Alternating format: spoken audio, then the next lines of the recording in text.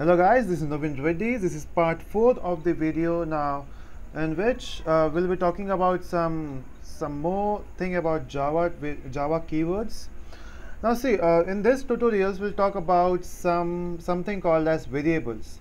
Now what exactly variable means is, let's suppose I want to add, uh, I want to write a code in Java to add two numbers, right? It's very simple code, right? We have to add two numbers.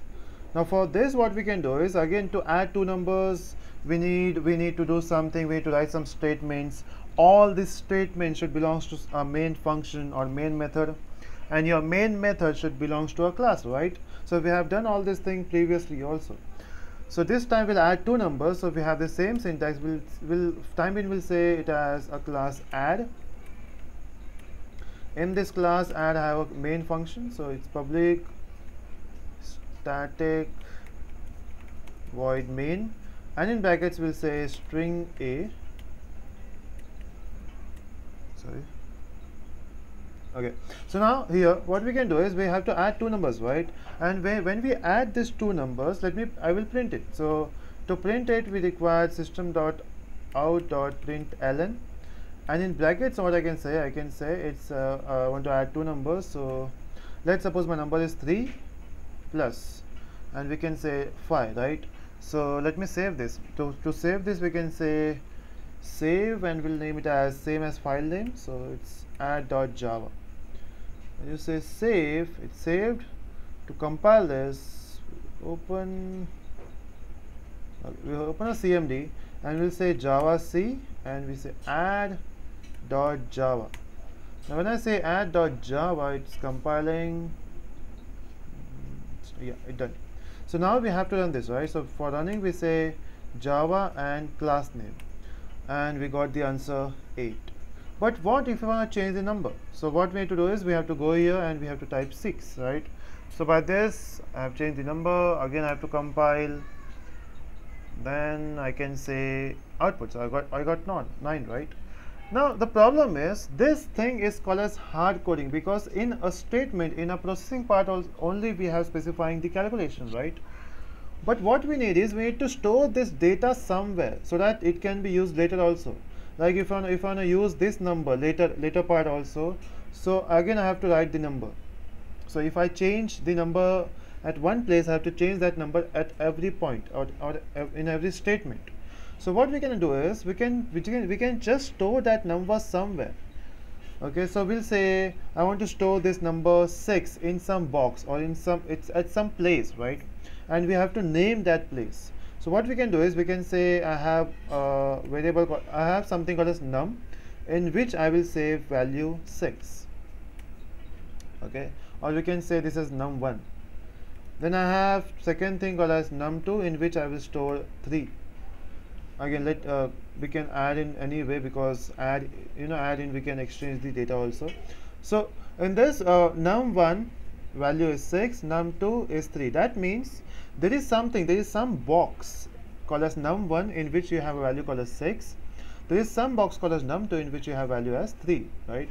Then what we can do is we can just say it's num1 plus num2 right? But the problem is when you create this box you should specify the size of the box right? How many bytes the box will require right? Uh, and what type of data this box will hold. So for that we have to specify something. And that something is called as that something is called as data type. So when we talk about data type we have list of data types. We'll discuss list of data types now. So we have so we have data types okay? So in data types we have so we have a, a type called as int.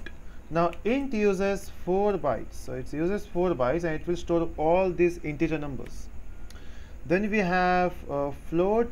Again it will take 4 bytes. It will also it will take your uh, real numbers real uh, fraction numbers. If we talk about the major part which is double it will take 8 bytes it will also support real numbers but uh, more number of decimal points you can have decimal numbers you can have. Then you have something called char which, which supports 2 bytes in which you can store a character.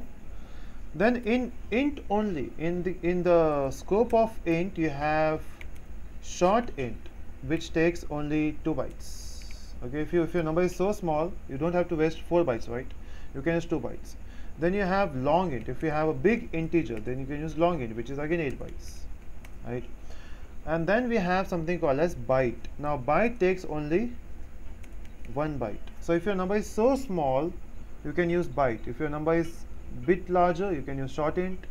If you want to go for normal range go for int. If you if you think the number is huge you can go for long int right? So we have this all this type of data type.